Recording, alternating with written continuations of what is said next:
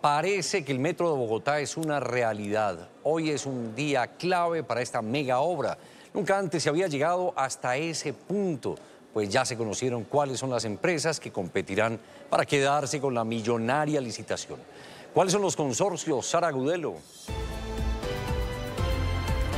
Felipe, televidentes, buenas tardes. Son dos consorcios, como usted lo está diciendo, uno conformado por empresas chinas y otro conformado por empresas mexicanas y españolas. El próximo 21 de octubre, el alcalde Enrique Peñalosa adjudicará la obra. ¿Y quién ganará? El que tenga la propuesta más económica.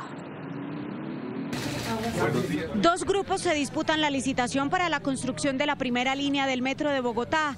Se trata de Consorcio Metro de Bogotá, conformado por dos empresas mexicanas y una española, y Transmimetro, integrada por compañías chinas. Si aquí no hay ningún riesgo de que alguien que llegue a la alcaldía pueda cambiarlo, incluso con las propuestas que ya se hicieron. Ya, si algún alcalde eh, por alguna razón, ya con solo, con que solo se hayan presentado las propuestas, tratara de acabar con este proceso, serían demandas de miles y miles de millones de pesos. El próximo 21 de octubre, la alcaldía de Bogotá adjudicará el proyecto. El criterio preponderante para quedarse con la licitación será quien presente la propuesta más económica. Lo que sigue ahora es un proceso de evaluación de las propuestas.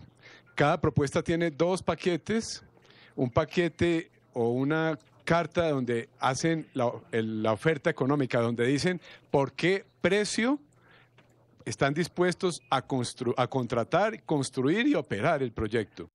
En abril del próximo año comenzarán las obras de construcción y en el 2025 comenzará a rodar la primera línea del metro por Bogotá.